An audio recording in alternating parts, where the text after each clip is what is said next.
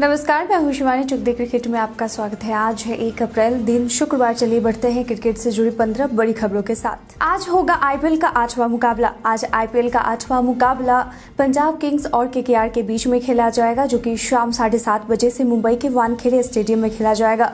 दोनों टीमों ने अब तक कुछ प्रतिस्पर्धी क्रिकेट का प्रदर्शन किया है, लेकिन ऑलराउंडर और ताकत की वजह से केकेआर को थोड़ी बढ़त नज़र आ रही है।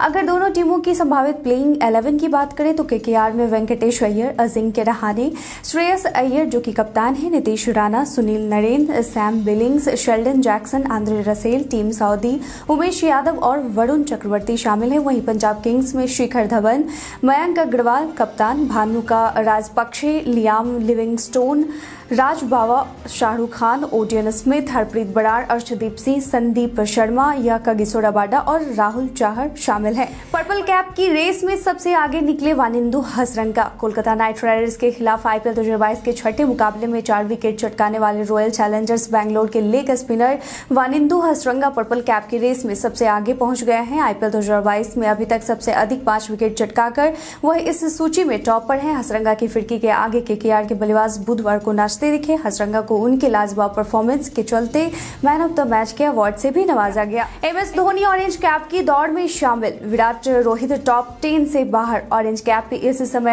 आरसीबी के नए कप्तान फाफ टुप्लेसी के पास है। उन्होंने पंजाब किंग्स के खिलाफ अट्ठासी रनों की तूफानी पारी खेली थी। इस सूची में मुंबई इंडियंस के ईशान किशन इक्यासी रनों की मदद से दूसरे स्थान पर पहुँच गए हैं। वहीं चेन्नई के पूर्व कप्तान एम एस धोनी इस सूची में सातवें नंबर पर पहुँच गया है। ऑरेंज कैप की सूची में टॉप टेन से रोहित शर्मा और विराट कोहली बाहर हो चुके हैं। धोनी एक बार फिर झारखंड के सबसे ज़्यादा टैक्स देने वाले व्यक्ति बने। भारतीय क्रिकेट टीम और IPL team Chennai Super Kings के पूर्व कप्तान महेंद्र सिंह धोनी झारखंड के सबसे बड़े करदाताओं की लिस्ट में सबसे पहले नंबर पर हैं। आपको बता दें कि महेंद्र सिंह धोनी ने इस वर्ष एडवांस टैक्स के रूप में अड़तीस करोड़ रुपए का भुगतान किया है और अनुमान यह भी है कि एडवांस टैक्स के रूप में जमा की गई रकम के अनुसार इस वित्तीय वर्ष के दौरान धोनी की आमदनी 130 करोड़ रुपए से अधिक होने का अनुमान है। धोनी इस साल भी झारखंड के सबसे बड़े टैक्स देने वाले व्यक्ति बन गए हैं। सीएसके की ओर से डेब्यू करने वाले न्यूजीलैंड के खिलाड़ी ड्वेन कॉन्वे ने कहा कि मैं एम एस धोनी की कप्तानी में खेलना चाहता था। मेरी उनसे अच्छी बातचीत हुई। मैंने उनसे पूछा कि आप वाकई एक और सीज़न की कप्तानी नहीं करना चाहते हैं? ताकि मैं आपकी कैप्टनसी में खेल सकूँ। इस पर धोनी का जवाब था, नहीं। लेकिन मैं वैसे ही हमेशा आसपास ही रहने वाला हूँ।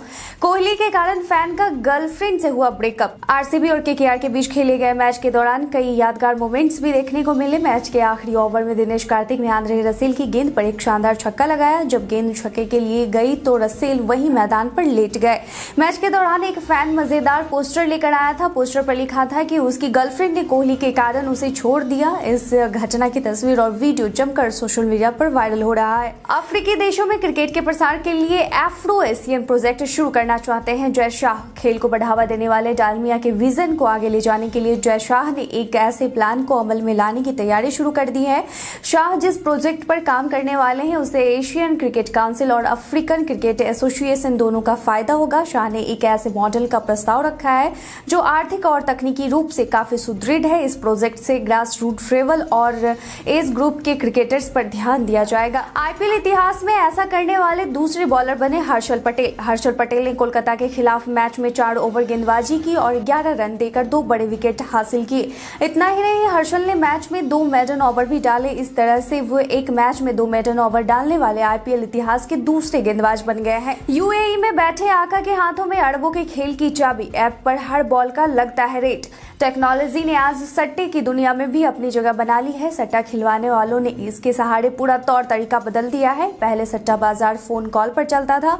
आज भी फ़ोन से चल रहा है, लेकिन बस तरीका थोड़ा सा अलग हो गया। अब सटोरी मोबाइल ऐप और वेबसाइट के ज़रिए सट्टा खिलवा रहे हैं। युवाओं से लेकर बुज़ुर्गों तक जिनको स्मार्टफ़ोन चलाना आता है, वो अब घर में बैठकर इन ऐप के ज़रिए दाव लगा सकते हैं। इसके लिए ना तो भारत सरकार ने कोई नियम तय किया है और ना ही कोई बंदिशें लागू की गई है। आईपीएल दो हज़ार बाईस के लिए पंजाब किंग्स का विस्फोटक बल्लेबाज पहुँचा मुंबई। आईपीएल दो हज़ार बाईस के शुरुआती कुछ मैचों के लिए लगभग सभी फ्रेंचाइजियों के कुछ प्रमुख विदेशी खिलाड़ी उपलब्ध नहीं थे, लेकिन अब धीरे धीरे उनका आगमन शुरू हो चुका है।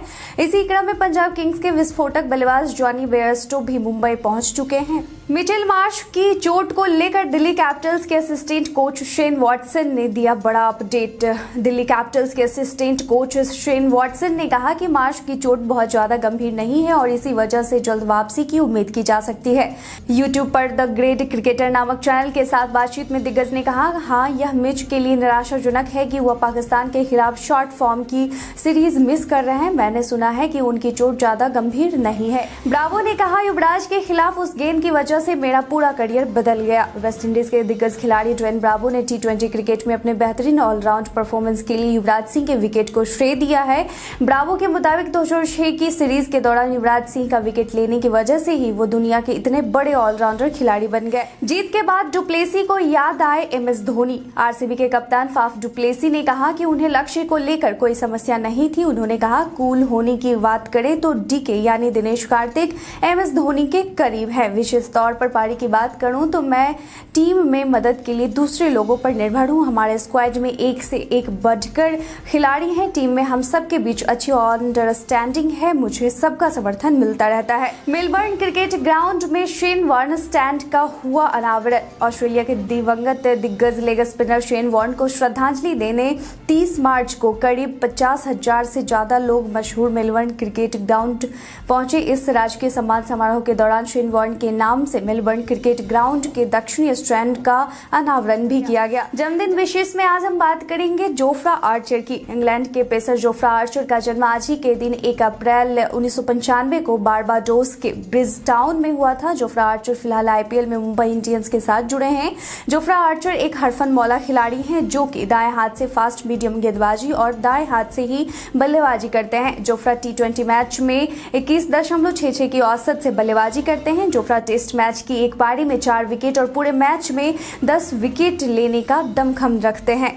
इसके साथ ही बढ़ते हैं आज के सवाल की ओर। आज का सवाल है कि आपको क्या लगता है, आज के मुकाबले में किसका पलरा भारी है, पंजाब किंग्स या फिर के के आर अपना जवाब में कमेंट सेक्शन में लिखकर ज़रूर बताएँ। आज के लिए बस इतना ही। क्रिकेट की तमाम खबरों रिकॉर्ड्स के साथ बने रहने के लिए देखते रहे चक दे क्रिकेट। धन्यवाद।